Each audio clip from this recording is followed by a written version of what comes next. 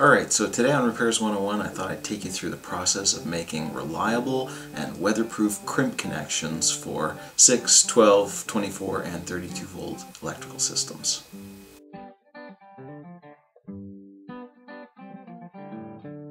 Okay, well I think pretty much everyone's had a kit like this one where you get a multi-pack full of all kinds of different uh, terminal connections and butt connectors and bullet connectors and even some fuses thrown in for good measure. And you know, it'll come with a crimping tool slash wire stripper that looks like this one here.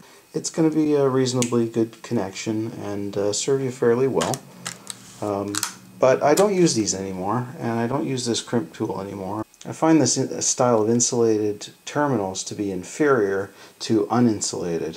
So I much prefer to use uninsulated terminals like these ones here and a pair of terminal pliers like this one, a piece of shrink tubing over the end.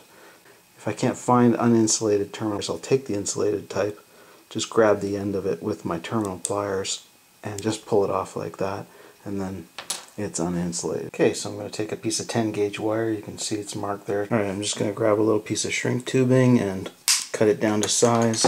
And before we uh, do anything, we're going to just slip a little piece of shrink tubing over the end. Remember to do it first, because you'll find you can't do it last. Grab these wire strippers and take the end off real quick.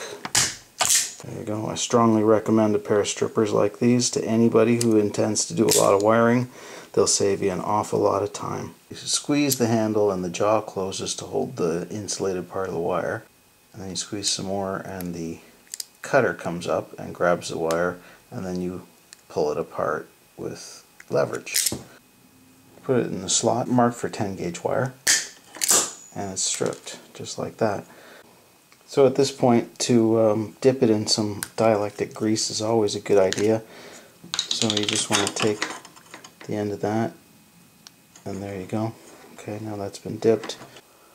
Okay, so there we have it marked 12 and 10 gauge, and we know we're using a 10 gauge wire because it says right there. I've dipped this end in. Wouldn't hurt to dip this end in. Just put uh, a little shot of grease up in the middle of that. There it is. As you can see, there's a seam in the construction of the terminal where the saddle sits for the wire. You can see there's a seam. And it's very important to put the seam in the semicircle part so that you're pushing the male aspect of the plier into the back of it. So you want to load your terminal so that the seam, that seam right there, loads into the semicircle side of the terminal crimp plier. Okay, so you just load that in there like that.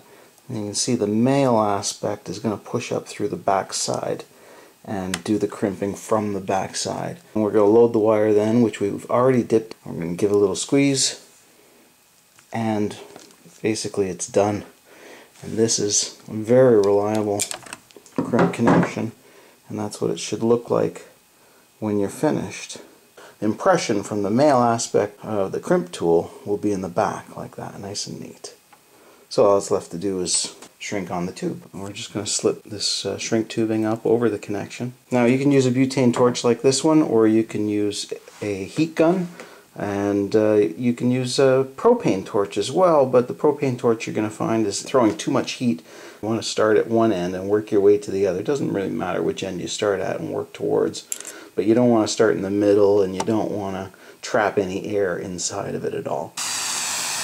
You just slide on your piece of uh, shrink tubing and then just go around real light and easy. You want to start at one end and work your way down to the other. And it will melt right on there. Sweet as you please. And there you have, I've even overdone it a little bit. Oops. You can see I've overdone it a little bit, a little bit of charring, but just wipe that off. It's quite hot.